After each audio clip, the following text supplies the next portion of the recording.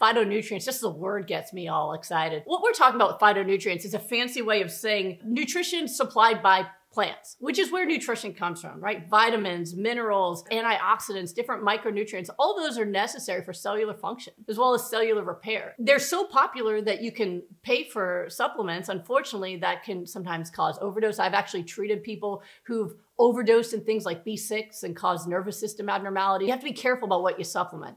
But with nutrition, your body takes in what it needs and the rest just goes into the septic system. But all these are necessary for cell repair. And that's what my husband and I found through our years of research is that what people are missing is more linked to their current health than even some of the bad stuff they eat. And I found that even helping people on plant-based diets recover their health is they're not eating nutrient dense foods. They're maybe sticking to stuff that's low level nutrition, but not getting in that fresh vegetables, for example. So they all have different jobs, but they're necessary for the different functions that occur that create our metabolism. So metabolism is not only how quickly you can burn fat, but also how quickly your body can repair damage, how quickly your body can return to baseline after going through some kind of stressor, right? When you get a cold, are you sick for a week or are you sick for 24 hours? People who work with me, 24 hours if they get sick at all.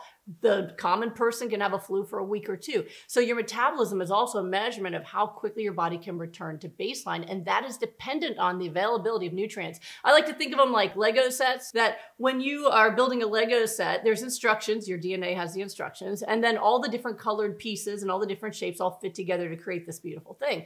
If you can't find a Lego, I would say, well, you're missing this, this one will work. And your body will do that because it wants to keep us alive. It's beautiful. So even if you're eating the wrong stuff, your body will go, well, this is the right thing we need.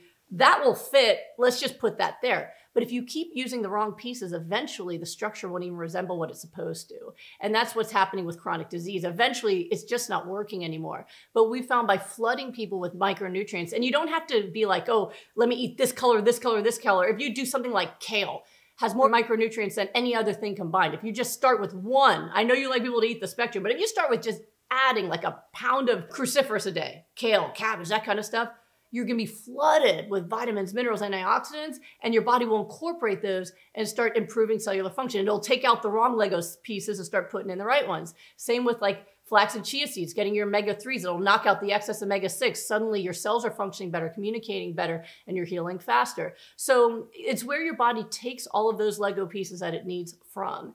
And the good thing is, our cells are constantly renovating themselves. And so even if you've spent decades giving it the wrong thing, if you start nourishing yourself properly, especially hyper-nourishing the way people teach, like overdose on the good nutrients, then you'll start finding your health recovers really, really quickly.